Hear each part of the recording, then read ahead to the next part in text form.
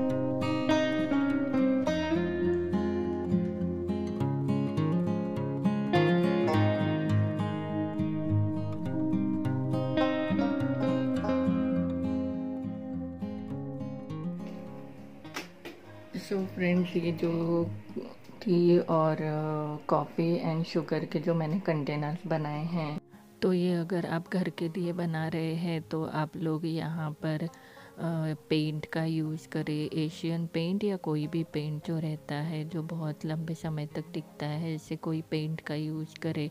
मुझे बस आप लोगों को एक आइडिया देना था करके मैंने एक्रेलिक कलर का यहाँ पर यूज़ किया है, लेकिन आप लोग अगर बनाए तो पेंट का यूज़ करें तो फिर आप उससे वॉश भी कर सकते हो। ये ट्रे मैंने एक्चुअली कुछ चीज़ें रखने के लिए बनाया था, लेकिन ये इतना क्यूट और प्रिटी दिख रहा है कि हम लोगों की बिल्कुल भी इच्छा नहीं हुई कि मेरे बेटे को ये ट्रे बहुत पसंद है तो वो बोलने लगा कि, mama use for serving only तो मैं इसे सर्व करने के लिए यूज़ करूँगी। तो ऐसे ट्रे या कुछ भी आपके यहाँ पे रहता है, ट्रे तो उसको आप लोग पेंट करके थोड़ा और अट्रैक्टिव बना सकते हैं तो उससे किचन और सुंदर दिखेगा। यहाँ पर कोई भी तरीके के कंटेनर्स आप लोग यूज़ कर सकते हैं और अट्रैक्टिव और पॉपअप देने के लिए। तो कलरफुल होने की वजह से वो थोड़ा और अच्छा दिखता है। तो एक्चुअली मुझे कलर्स बहुत पसंद है तो मैंने कलर्स का ज़्यादा इस्तेमाल किया है यूज़ यूज़ किया है। अगर आप लोगों को पसंद नहीं है तो आपको जो पसंद है, उस कलर से आप लोग बना सकते हैं। और ये एक मेरा डीआईवाई है, जो आप लोगों ने लास्ट वीडियो में देखे ही होंगे तो ये वाला वही डीआईवाई है, जो बॉटल का डीआईवाई बनाया था मैंने। तो मैंने यहाँ पर इस तरीके से यूज़ किया है।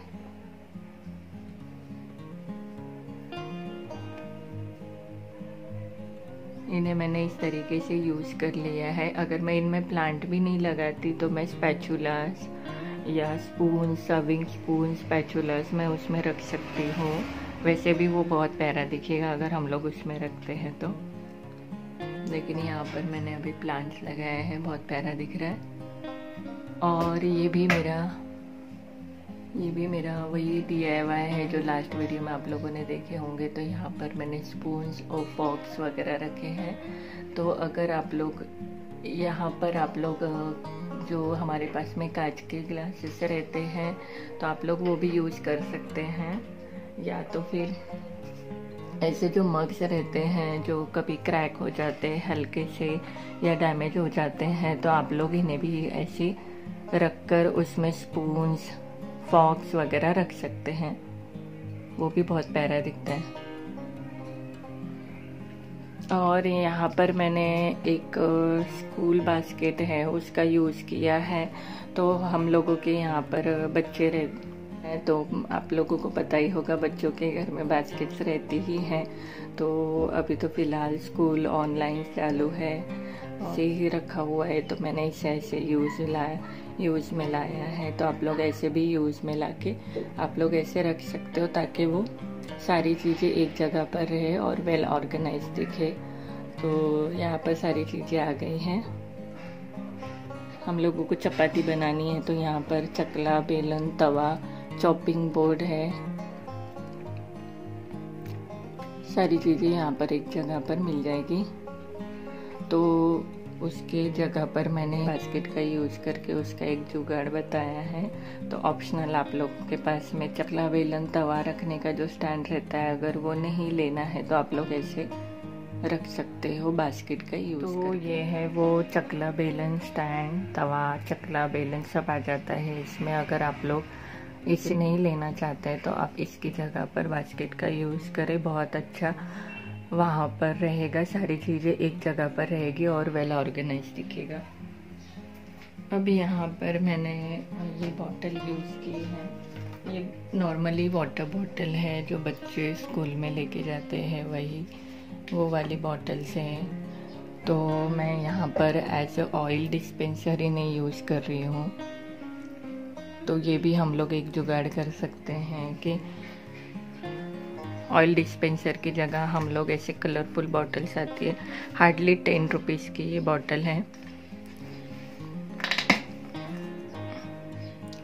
आसानी से ऑयल निकल जाता है और कुछ गंदा भी नहीं होता है। तो सेम ये ऑयल डिस्पेंसर का काम करती है। सेम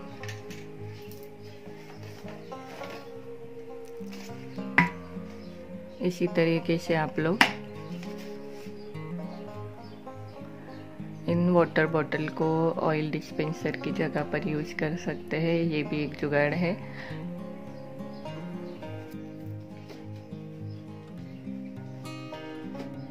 यहाँ पर मैंने नॉर्मल सी जो मल्टीपर्पज़ शेल्फ है वो यूज़ किया है। तो अगर आप लोगों के यहाँ, अगर आप लोगों के पास में नहीं है कोई भी शेल्फ तो आप लोग ऐसे प्लास्टिक के जो मल्टीपर्पज़ शेल्फ आते हैं, आप लोग उनका यूज़ करके ऐसे ऑर्गेनाइज करके रख सकते हो, ये भी बहुत प्यारा दिखता है। ये तो रहता ही रहता है हर घर में। कोई ना कोई तरीके का तो शेल्फ एक हमारे पास में रहता ही है तो आप लोग उसको अच्छी तरीके से रखें तो बहुत प्यारा दिखेगा। यहाँ पर मैंने केचप की जो बॉटल है एम्प्टी बॉटल उसे थोड़ा कलर करके, उस पर डिज़ाइन करके एक मनी प्लांट लगा दिया है। तो उससे भी और अच्छा लुक आएगा। काउंटर टॉप पर अब अगर आप लोगों के पास में थोड़ी सी भी जगह बचती है, कोई भी कॉर्नर बचता है तो आप वहाँ पर ऐसे एक डीआईवाई बनाकर बॉटल को नॉर्मल सा कलर देकर भी आप लोग उसमें मनी प्लांट लगा देंगे तो भी प्यारा दिखता है और अच्छा दिखता है। ऐसी छोटी फ़ीस की बॉटल कोल्ड ड्रिंक की बॉटल जो आती है, उसे भी मैंने कलर करके ऐसे मनी प्लांट लगा दी है। मनी प्लांट नॉर्मल प्लांट्स मुझे प्लांट्स बहुत पसंद है तो आप लोगों को हर जगह मेरे घर में प्लांट्स नज़र आएँगे। तो एक एक या दो आप लोग तो ज़रूर लगाएँ, बहुत ही प्यारा दिखता है। ज़ीरो बजट डेकोरेशन है ये। छोटी, ऐसे थोड़ा कलर करके। अगर आप लोग कहीं पर भी रख देते हैं तो बहुत प्यारा दिखेगा।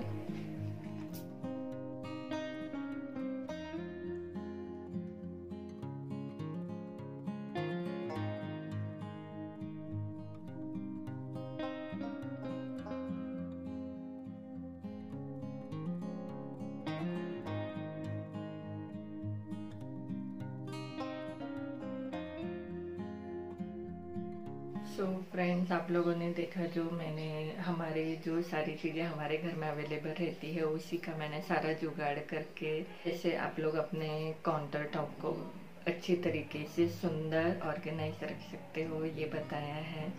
जो आप लोगों को बिल्कुल भी उसका कुछ भी खर्चा नहीं आएगा, जो घर में अवेलेबल चीज़ें हैं, उन्हीं सारी चीज़ों से मैंने आप लोगों को ये बताया है कि आप लोग कैसे अरेंज करके रख सकते हो।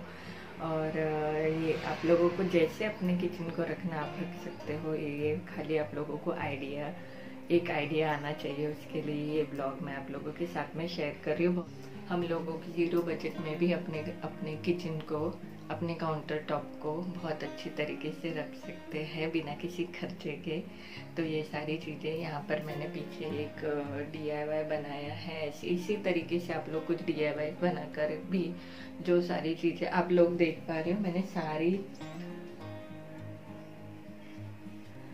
मैंने सारी जो हमारी जो सारी काम की चीज़ें हैं, वो आ चुकी है। इतनी जगह में सारी काम की चीज़ें जो मुझे ज़रूरी रहती है, जब मैं खाना बनाती हूँ या चाय बनाती हूँ तो सारी चीज़ें मुझे इतनी सी जगह में मैंने सेट करके रख दिया है और बहुत प्रॉपर तरीके से दिख रहा है ये। तो यहाँ पर आ गए हम लोगों के। कुकिंग की सारी चीज़ें आ चुकी है। यहाँ पर चाय के चीज़ें आ चुकी हैं कप्स मग्स आ चुके हैं। यहाँ पर स्पून बॉक्स आ चुके हैं। यहाँ पर हम लोगों के चाय पत्ती, शक्कर कॉफ़ी आ चुका है। स्नैक्स स्नैक्स भी बड़े बराबर आ गए, यहाँ पर रखा है मैंने। मसाला दानी। चपाती बनाने के लिए। सारी चीज़ें हैं, यहाँ पर ऑयल है। इसी कॉर्नर में सारी चीज़ें मेरी आ चुकी है, वो भी एकदम प्रॉपर नीट क्लीन तरीके से। इतनी कम जगह में मैंने रखी है और जो मुझे ज़रूरी है, वो सारी चीज़ें यहाँ पर अवेलेबल हैं। तो फ्रेंड्स ये था आज का ब्लॉग जो मैंने आप लोगों के साथ में शेयर किया। आई होप कि आज का ब्लॉग आपको पसंद आए। आशा करती हूँ कि ये ब्लॉग आपके लिए हेल्पफुल साबित हो, आपको कुछ आइडियाज़ मिले। अगर आप लोगों को हेल्पफुल साबित होता है या आप लोगों को कोई भी चीज़ पसंद आती है तो लाइक कीजिए और कमेंट ज़रूर कीजिए। मैं आप लोगों के कमेंट पढ़ते रहती हूँ, मुझे बहुत अच्छा लगता है। कमेंट कीजिए शेयर कीजिए। फिर मिलेंगे एक अच्छे से ब्लॉग के साथ में। तब तक के लिए अपना और अपने फैमिली का ध्यान रखिए, खुश रहिए, हँसते रहिए, मुस्कुराते रहिए और देखते रहिए मेरा चैनल फिर मिलेंगे। Bye bye friends bye bye